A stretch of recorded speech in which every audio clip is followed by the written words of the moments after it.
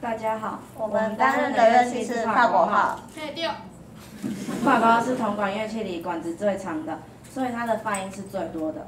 是啊，是啊。法国号的音色温和，音域宽广，在木管五重奏里也可以看到它。对啊。而我们最常使用的是 F 调法国号，长约十二尺，是乐团不可或缺的角色。那就让我们一起欣赏法国号的表演。是第一。